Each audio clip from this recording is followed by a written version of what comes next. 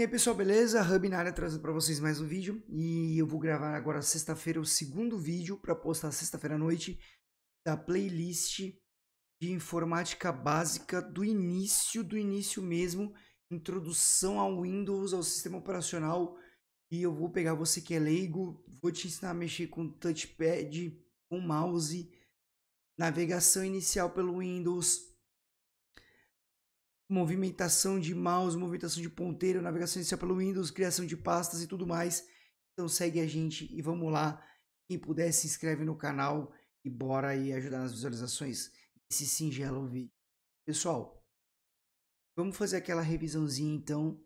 Entrando no sistema operacional, eu tenho a área de trabalho, tá? Como vocês podem ver aqui, diferente do computador que a gente usa no curso, eu tenho esse, vários ícones, diferente de vocês aí em casa também. Alguns têm mais, outros têm menos. E relaxa que a organização tá do jeito que eu, que eu, eu gosto.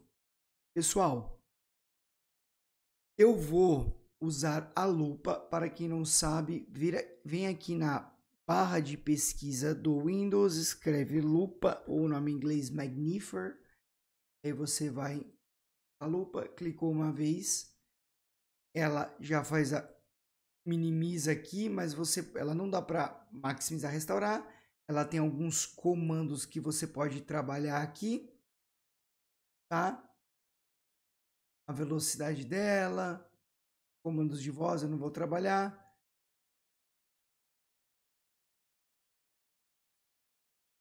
Ela tem aqui um botão de reproduzir e pausar. E o zoom, a única coisa que me interessa aqui é o zoom e aí eu posso apertar mais para zoom e menos para diminuir. Ou segurar o botão bandeirinha do Windows ou o botão menu iniciar no teclado, tá? No teclado, o botão menu iniciar e apertar mais ou menos, tá bom, galera?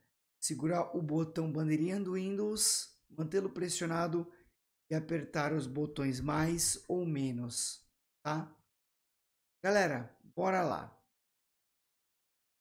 Quando você quando você está na área de trabalho, e a gente já falou que ela é formada por papel de parede, ícones, barra de tarefas, menu iniciar, barra de pesquisa, relógio e alguns ícones de inicialização.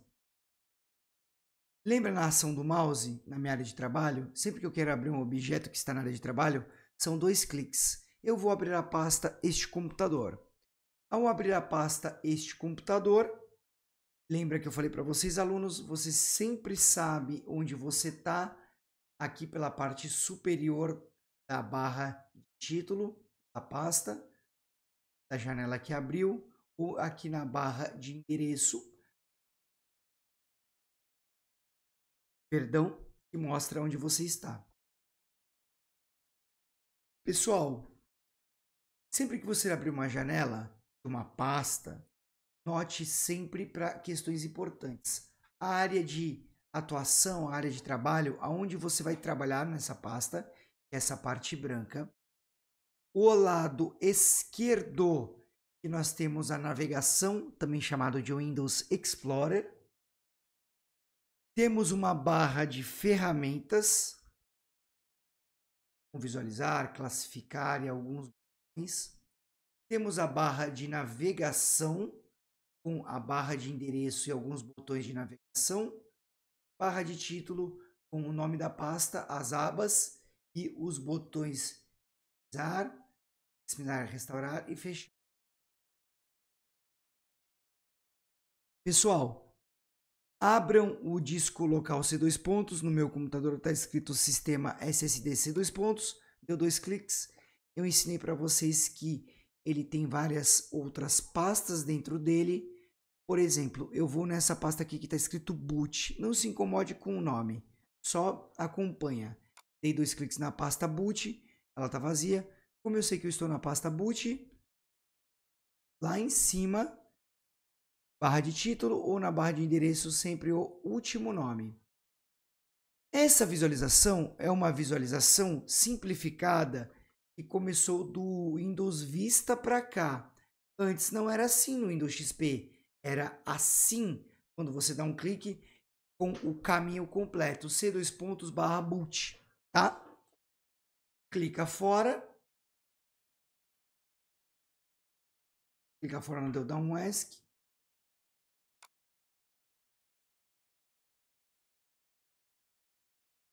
Abrir aqui boot. Fiz cliques, cliquei fora. E aí, pessoal, no último, último nome da barra de endereço é onde você está, onde você está trabalhando. Beleza? A pasta que você se encontra aqui, nota que é o mesmo nome. Pessoal, explorem o lado esquerdo, a navegação. Vocês podem vir com o mouse, procurar essa linha bem clarinha que divide a navegação e a parte de trabalho da pasta, quando virar essa seta dupla, clica no botão esquerdo do mouse ou no canto esquerdo do touchpad, mantém pressionado, o famoso segura e arrasta para aumentar o tamanho. Beleza? Coloquei o tamanho que eu queria que dá para eu ler tudo. Pessoal, nessa parte aqui nós temos alguns pins, né? Como se fosse um percevejinho. Ele é o que mantém as pastas indica que as pastas são pinadas aqui. Em alguns momentos você pode desmarcar.